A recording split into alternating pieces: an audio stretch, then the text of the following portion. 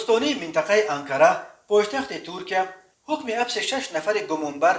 ба мусоидат ба фаъолиятҳои террористиро ба даст оварда бино ба иттилои расонаҳои туркӣ кормандони идораи мубориза бо терроризми полиси анкара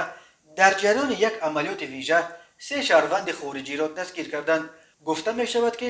онҳо бо созмони террористии доиш иртибот доштанд исми боздоштшудаҳо ва аз кадом кишвар будани онҳо расман нашр нашудааст вале дар аксҳои аз маҳаллаи боздоштҳо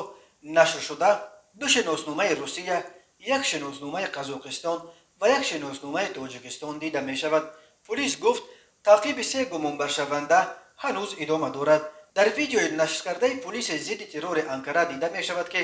кормандони полис вориди як манзил шуда чанд ҷавонро ки дар як ҳуҷра хобида буданд дастгир карданд. Полис гуфт дар ҷараёни кофтукоби манзилҳои гумонбаршавандагон тирҳои пистолет як магазин як камон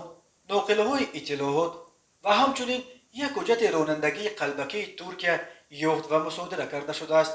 Туркия ба ҳаммарз буданаш бо ироқу сурия дар солҳои охир ба як масири асосӣ ба ин ду кишвар сафар кардану ба сафи гурӯҳҳои террористӣ чун доиш пайвастани ҷангталабон аз кишварҳои гуногун аз ҷумла аз русия ва тоҷикистон табдил ёфта буд. Се соли пеш мақомоти тоҷикистон гуфта буданд ки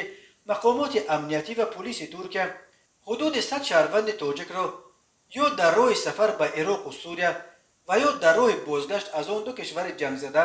дастгир ва ба душанбе истирдод карданд